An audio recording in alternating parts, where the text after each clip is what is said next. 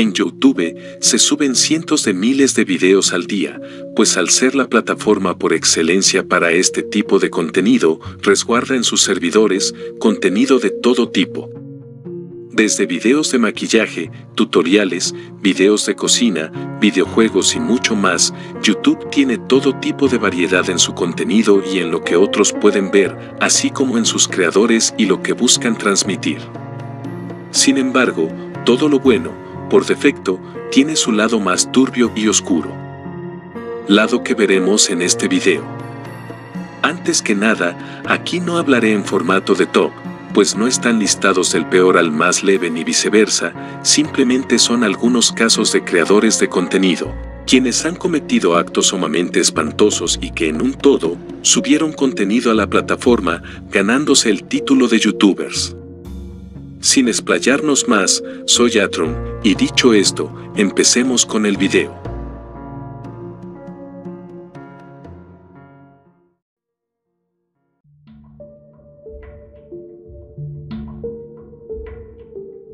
Renato Pantoja, conocido como Peluchín, comenzó su canal de YouTube, Peluchín Entertainment, en el que inicialmente subía contenido relacionado con videojuegos y blogs personales. A medida que el canal ganaba popularidad, Peluchín comenzó a publicar videos en los que maltrataba a sus mascotas, principalmente gatos. Estos videos incluían golpes, lanzamientos contra la pared y otros actos de crueldad hacia los animales. Los videos de maltrato animal generaron una fuerte reacción en las redes sociales, con muchos usuarios expresando su indignación y exigiendo que se tomaran medidas contra Peluchín. Los espectadores comenzaron a denunciar los videos ante YouTube y otras autoridades competentes, instando a la plataforma a eliminar el contenido y tomar medidas contra el creador. Las autoridades iniciaron una investigación sobre el caso de maltrato animal basándose en los videos publicados en el canal de Peluchina Entertainment. Esto llevó a un escrutinio legal del comportamiento del chico y a un aumento en la atención mediática sobre el caso. Después de una creciente presión por parte de la comunidad en línea y de las investigaciones de las autoridades, YouTube finalmente eliminó el canal de Peluchina Entertainment debido al contenido de maltrato animal. El joven enfrentó consecuencias legales por sus acciones, incluidas investigaciones por parte de las autoridades competentes. Se desconoce el alcance exacto de las acciones legales tomadas contra él debido a la privacidad de los procedimientos legales.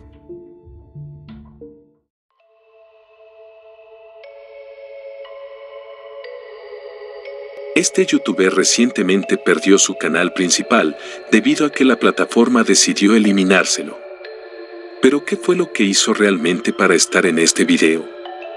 Juan Martínez es un youtuber mexicano, el cual dedicaba su contenido más que nada a las videoreacciones. Este hombre, en muchas ocasiones, grababa videos reaccionando a contenido de categoría gore o snap, un tipo de contenido que puede ser ficción, mostrando escenas sumamente violentas y repugnantes, o lo mismo, pero siendo completamente real, respectivamente hablando. Usualmente este tipo de videos no suelen tener una repercusión más allá del morbo y quienes reaccionan a dicho contenido, muestran en general sus expresiones y malestar a la hora de observar dicho material. Sin embargo, Burnett Show no solo reaccionaba, sino que mostraba el video con censura y el audio poco distorsionado, dejando una vaga pero clara imagen de lo que estaba viendo. A la par que subía el material de descarga en sus descripciones. Esto aunque suene terrible, no es realmente lo que le ganó el estar en este video, más bien lo sería una de sus reacciones. Resulta que después de un tiempo, Burnett Show subiría un nuevo video, reaccionando en directo al infame video de DD o Desis Destruction, el video considerado como el peor de toda la red, video que también habría mostrado en una esquina con una pobre censura y poca distorsión en el audio. Para que entiendas un poco la magnitud de este caso tan horrible, este sujeto estaba reaccionando en directo a contenido ilegal, pues DD es un video de índole CP, que además muestra la descarnada destrucción en todo el sentido literal de la palabra de una infante. Burnett Show habría grabado cómo reaccionaba a un video horrible, incriminándose en el acto, pues poseer este tipo de contenido también es ilegal.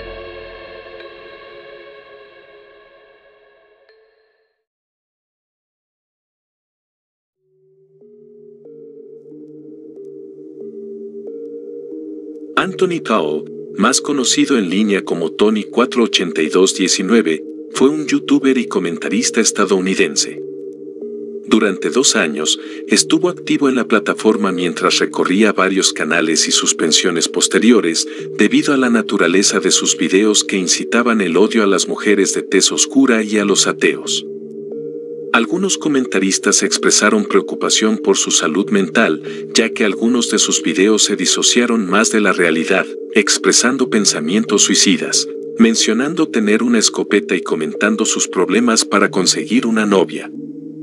Los padres de Anthony habían mencionado que luchaba contra la depresión y que no le gustaba tomar medicamentos. Pero, ¿qué es lo que hizo que este youtuber se ganara el estar en este video? El 10 de abril de 2009, Anthony ingresó al Centro de Bellas Artes Mackenzie, donde era estudiante y se dirigió hacia un salón de clases. Allí, encontró a Asia McGowan, una compañera youtuber que en su momento fue acosada por él. Powell acabaría con la vida de MC Govan en una emboscada con una escopeta, para posteriormente terminar con su propia vida.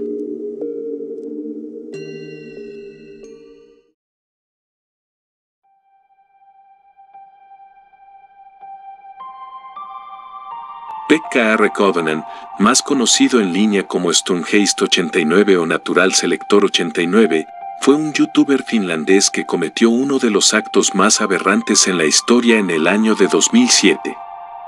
Auvinen creó originalmente su primera cuenta de YouTube, Natural Selector 89, el 15 de marzo de 2007.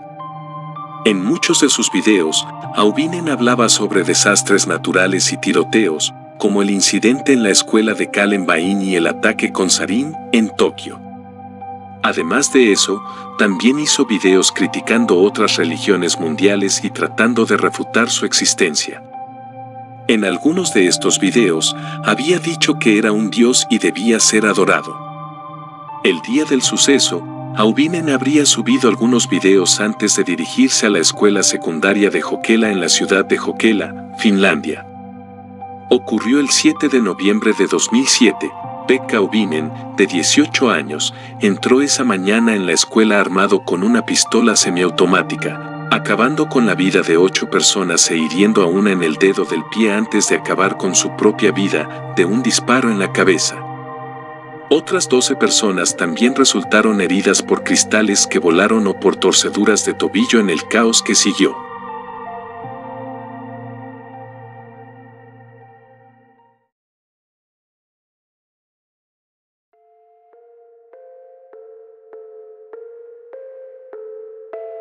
Nicholas Boyd Stautzenberger, nacido el 1 de septiembre de 1991, fue más conocido en línea como Dr. Nicolaus Bate o Neckbait. Fue un youtuber blogger, artista y músico estadounidense, quien es más recordado en la comunidad por hacer blogs y ser objeto de burlas en línea por sus hábitos personales. Nick creó su primer canal, DR Nicolaus Bate, el 11 de noviembre de 200 minutos, haciendo principalmente blogs cortos en el canal, como recorridos por su casa barra trailer, blogs con su familia, etc. Nick pronto dejaría DR Nicolaus Bate y crearía otro canal llamado Constant Boots el 17 de junio de 2011. Principalmente hacía el mismo tipo de contenido que en su primer canal. La historia de este hombre daría para otro video más individual, por lo que si quieres que trabaje en traerte ese video, puedes darle like y suscribirte a mi canal si aún no lo has hecho. Continuando, este sujeto dejaba entrever una sanidad mental realmente deplorable, tanto en sus comportamientos como en sus hábitos personales y en salud. Lo que llevó a este sujeto a ser un verdadero monstruo ocurrió el 30 de abril de 2015. Nick sería arrestado bajo los cargos de abuso sexual al haber atacado a su media hermana Amber entre el año 2009 y 2010. Esto es más horrible si conocemos la edad de la pequeña. Tan solo 5 años. se descubrieron algunas conversaciones de este tipo de índole realmente asquerosa, donde describía lo que haría con su hermana. También mencionar que tenía cierta parafilia con los excrementos, más que todo con ingerirlos, así que ya puedes hacerte una idea de las cosas que mencionaba en sus chats. Sin duda un personaje bastante desagradable y asqueroso.